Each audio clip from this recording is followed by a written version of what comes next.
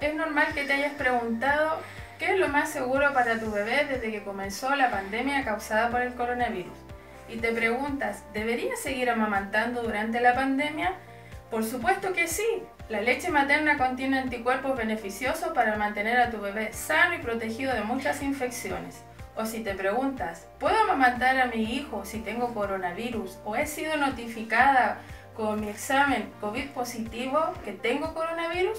Claro que sí, continúa la lactancia materna pero con las precauciones, ya que puedes transmitir el virus a tu bebé a través de pequeñas gotitas, al hablar, al estornudar o al toser. Entonces lo que debes hacer es usar la mascarilla. Cada vez que vayas a ofrecer lactancia materna a tu hijo, usa mascarilla, pero antes debes haberte lavado las manos con agua y jabón.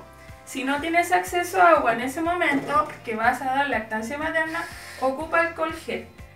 Cada vez que vayas a dar lactancia materna debes haberte preocupado de haberte lavado las manos y ya haberte puesto la mascarilla.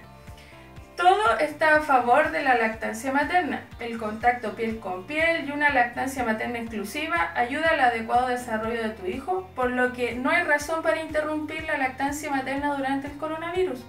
Es triste saber que por miedos o desinformación muchas madres dejan la lactancia o dejan de amamantar.